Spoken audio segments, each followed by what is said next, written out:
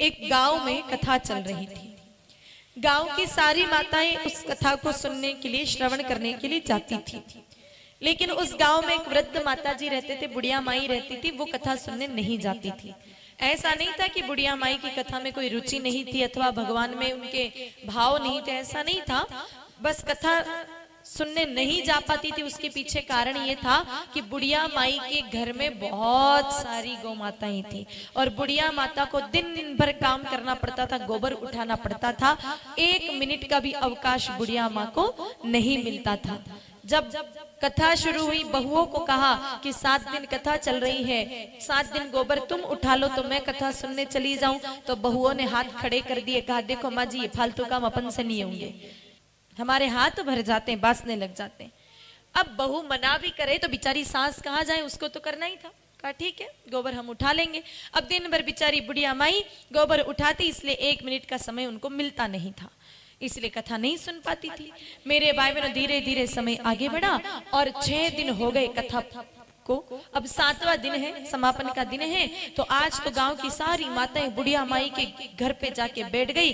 कहा, देख माई, आज तो आप चलोगे तो हम जाएँगे कथा सुनने और आप नहीं जाओगे तो आज हम भी कथा नहीं सुनेंगे। आज तो हम आपको लेकर के ही जाएँगे। अब सारी माताएँ मेरे भाई बहनों जिद पर बैठ गई।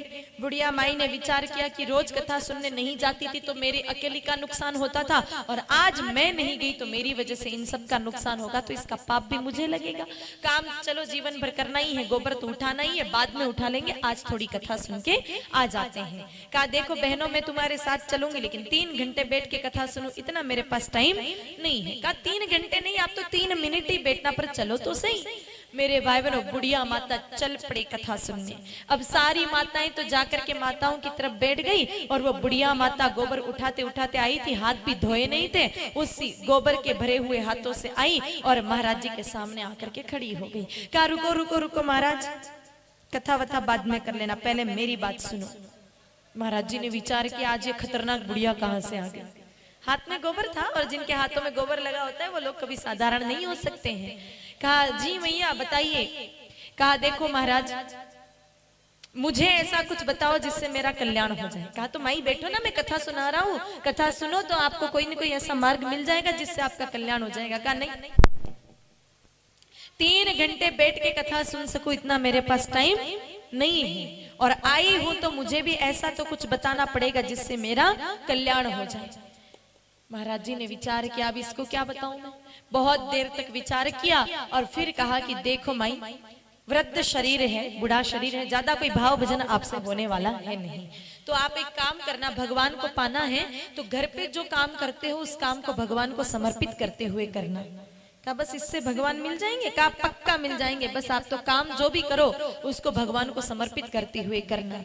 का ठीक है बुढ़िया माता गई घर पे। काम क्या करती थी बुढ़िया माई? गोबर उठाती थी तो रोज की तरह गोबर उठाया, एक पात्र में मेरे भाई बहन उस गोबर को भरा और उस गोबर को ले गई डालने के लिए। जहाँ जिस स्थान पर गोबर डालते हैं ना, उस स्थान पर मेरे भाई बहनों वो गई और गोबर डालते हुए कहने ही वाली थी, मेरे भाई बहनों उसने विचार किया कि मेरे को ठाकुर जी को जो भी काम करना है वो समर्पित करते हुए करना है। इसीलिए महाराज जी की वाणी याद आ गई और उसने गोबर डालते हुए कहा कि ले ठाकुर ये गोबर थारे। मेरे भाई बहनों गोबर डालते हुए वो गोबर ठाकुर जी को समर्पित कर दिया। अब रोज का क्रम बन गया।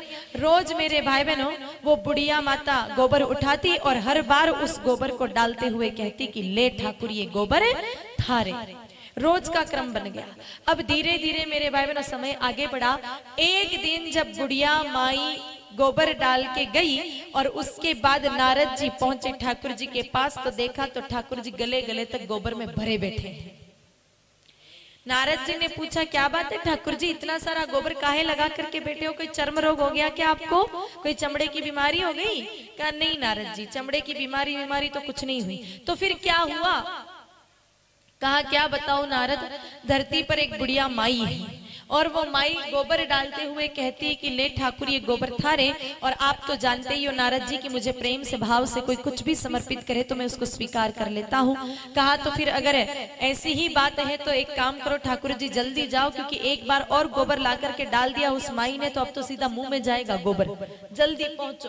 दोनों बात कर ही रहे थे, इतने में बुढ़िया माता फिर ले आई गोबर। और मेरे भाई बहनों अब गोबर डालते हुए कहने ही वाली थी कि ले ठाकुर, ये थारे, इतने में चार भुजानाथ धवल वस्त्रधारी मोर मुकुट वाले मेरे भाई बहनों स्वयं सामने प्रकट हो गए और उस गोबर को अपने हाथ में लेते हुए कहा कि, ले ठाकुर ले माई ये गोबर। महारे। तो मेरे भाई बहनों उस बुढ़िया माई को ठाकुर जी के दर्शन हो गए। अब विचार करना, बुढ़िया माई गोबर पहले भी डाल रही थी, पूरी उम्र बीत गई गोबर डालते डालते, लेकिन भगवान नहीं मिले।